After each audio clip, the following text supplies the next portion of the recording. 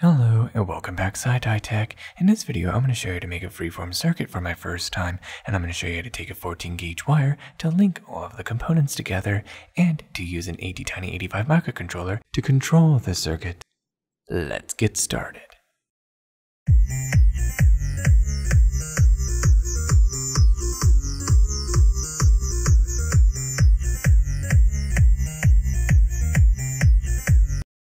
These are the items you're going to need to make for this project. The items you're going to need a 56 ohm resistor, an 8 pin IC socket holder, an ATtiny85 microcontroller, a 3 volt button cell battery holder, a 3 volt button cell battery, a slide switch, 14 gauge copper wire that is uninsulated,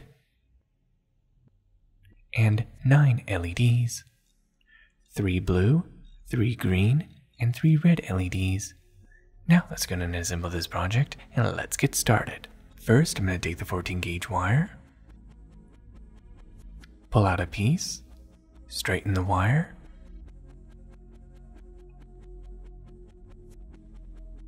make sure it's nice and straight, take a measurement, and I feel like 2 centimeters is a good size. Cut off the piece. Hold on to the other end, otherwise it will fly across the room when you cut it. And there we go, I have my little piece of wire. And the idea is to take the wire and solder it to the pins of the IC socket holder. I want to solder it to pin 4, 5, 6, 7, and 8. Cut some extra wire about the same length, so that way I can solder to all of the pins of the IC socket holder. Next, solder tin both ends of the wires.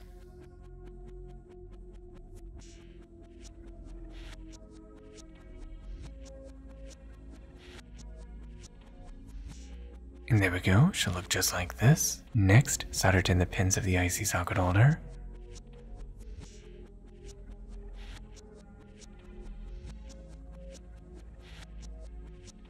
And now solder in the first wire onto pin 4. Next, solder the second wire onto pin 5. And now do the same thing with the rest of the wires, soldering the pins 6, 7, and 8. And there, should look just like this.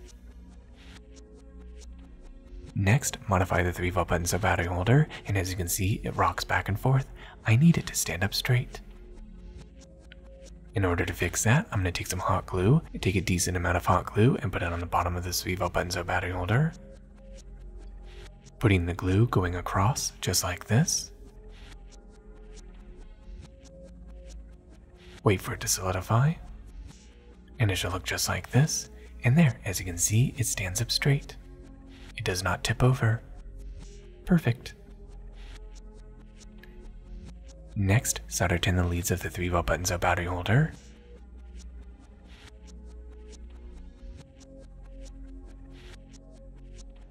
And then solder tin the slide switch.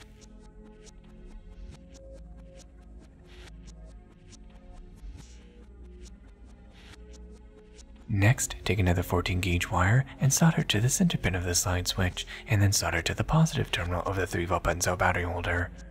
And as you can see, the wire's a little bit too long. What I need to do is take a mark and make a mark right here. And this is where I need to cut.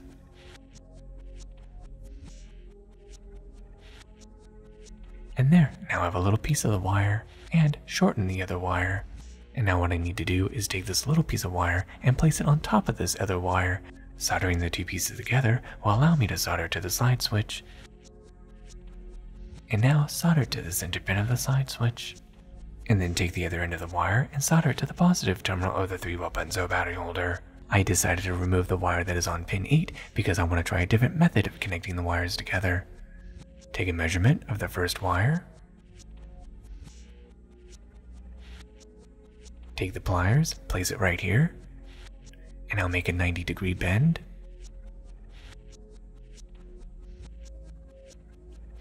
And I'll cut the wire. Adjust it a little bit. Next, take the pliers and bend the wire in another 90 degree angle, going this direction. I find doing this method is a lot better than the first method. Solder tin both ends, and now solder to pin 8.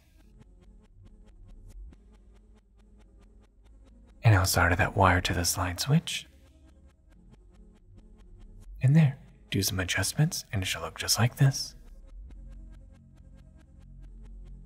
And as you can see, the second method looks a lot better, it's a lot easier, and it looks better. Of course, this is my first time, so I learn as I go.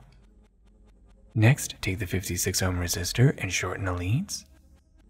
Cutting it right here looks good.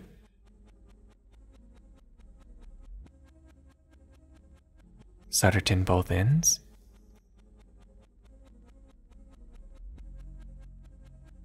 And then take the 56 ohm resistor and solder it to pin 4.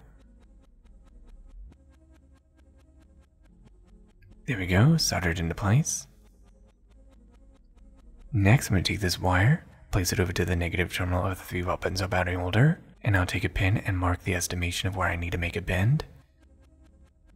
This part right here looks good. Bend it in a 90 degree angle.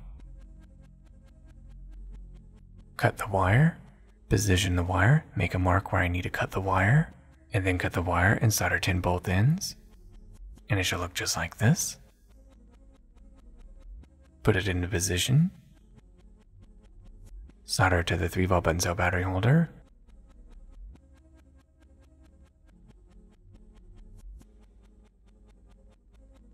And then solder it to the resistor. And there, should look just like this. Next, take the blue LEDs, solder the anode over to pin 5 and the cathode over to pin 4. Take the pliers and bend the wire that is on pin 5 in a 90 degree angle.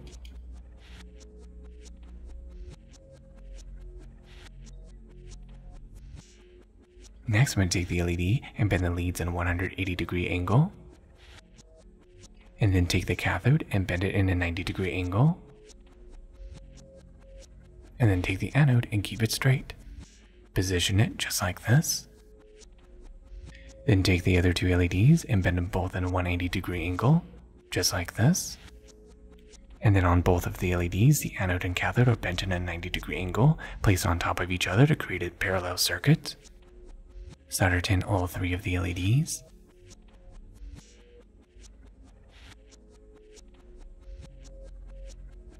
And then solder in the wire of pin 4. Solder the cathode over to pin 4 and the anode over to pin 5. And then take the other two LEDs and connect the anode to anode and cathode to cathode to create a parallel circuit. And there, the blue LEDs are now soldered into place. Next, bend the wire of pin 6 in a 90 degree angle.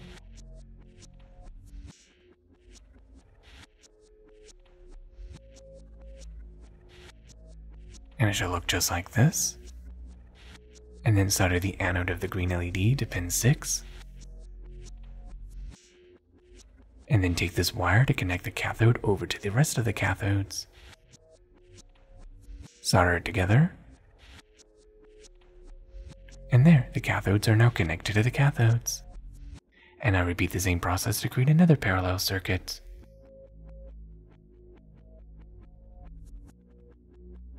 Solder it together just like this, and there, the green LEDs are now connected. And now I decided to remove the wire of pin 7 because it's too short. Now I replaced it with a longer wire. Solder it back to pin 7. And now I'm going to go and do the same thing with the red LEDs. And now the anode of the red LED is now soldered to pin 7. Solder the rest of the red LEDs in a parallel circuit. Solder everything into place. Next, take this extra long wire to connect the cathode of the red LEDs over to pin 4. Solder it into place. And there, the circuit is almost complete. Next, I'm going to take the 3 volt benzo battery and two jumper wires. One connects to the negative and the other connects to the positive. And I need to connect the negative over to pin 4 and the positive over to pin 5, 6, and 7. I need to do this to make sure that everything works. Touch pin 5, blue LEDs turn on, pin 6, green LEDs, pin 7, red LEDs. And as you can see, all of the LEDs work. And now take the 3 volt button cell battery and put it into the holder. And now take the ATtiny85 microcontroller and put it into the IC socket holder. And there, this circuit is now complete and the project is now complete. And now let's go ahead and test it out. Turn on the switch, and there, as you can see, it works. Now let's see how this looks in lower light. And as you can see, this looks very interesting, very artistic, and very unique. I absolutely enjoyed making this project, definitely want to make this in the future. The interesting thing is you can carefully pick it up and you can see that it's nice and solid. And you can turn it around and look at it. This looks very interesting and very cool. I absolutely like the way this looks. This looks very amazing. Definitely want to make more of these. And there you have it. Now you know how to make your very own ATtiny85 freeform circuit with using a few simple parts. Thank you for watching SciTye Tech. I hope you learned something new, and don't forget to like, share, and subscribe, and of course click on the bell icon to be notified of future SciTye Tech videos. Till the next tech, goodbye.